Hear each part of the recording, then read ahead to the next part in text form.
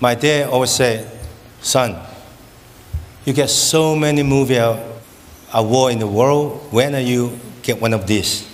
then I just look at my dad, ha ha ha. Dad, I only make, make comedy action movies. Many years later, I come to Hollywood, meeting with some big studio director, my friend's house, Stallone's house. That was 23 years ago.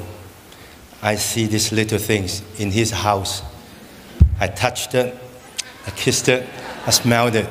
I believe still have my fingerprints in. They keep it. Then I talk to myself, I really want one. Finally, after 56 years film industry, making more than 200 films, I break so many bones. Finally, this is mine.